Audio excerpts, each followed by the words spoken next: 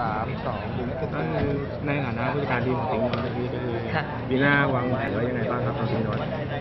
ปีหน้าเหรอคะก็คงต้องขึ้นกับทาง Honda เพราะตอนนี้เนี่ยทีมบุ๋มปีหน้าวางแผนว่าเราเป็น Honda เต็มตัว Honda เต็มตัวแล้ว ดังนั้นมันก็เหมือนกับว่านโยบายต่างๆเนี่ยขึ้นอยู่กับผู้ใหญ่ว่าจะเลือกนักแข่งคนไหนในทีมไปวางอยู่ตรงจุดไหน ซึ่งขึ้นอยู่กับโปรแกรมต่างๆ ที่ทาง Honda จะจัดมา แต่ถามว่าติงโนตยังแข่งถ้าเกิดไม่มีฤดูการแข่งที่ไม่แลบ ซึ่งก็ผมก็คุยกับคอมมิตี้ว่าถ้าในอนาคตยังต้องไปแข่งต่างประเทศด้วย ช่วยจัดการงานที่มันไม่ชนกัน เพราะติงโนตใจเขาก็ยังอยากแข่งให้ให้กับทีมผมอยู่ค่ะ แล้วก็ทีทีมหน้าปีหน้าเนี่ยทีมผมจะมีน้องๆใหม่ ๆ แล้วก็รวมถึงจากทีมอื่น เราทีมใหญ่สุดแล้วค่ะก็นี่คือเล็งไว้คือน่าจะไปโมโนทูใช่ไหมหรือว่ายังไงเออไม่แน่ใจแล้วแต่ผู้ใหญ่ค่ะผมยังไงก็ได้ แล้วแต่ผู้ใหญ่ก็เนี่ยค่ะอย่างคุณสมคิดคุณอลักษณ์พี่จุ้ยอย่างเงี้ยแต่ละคนก็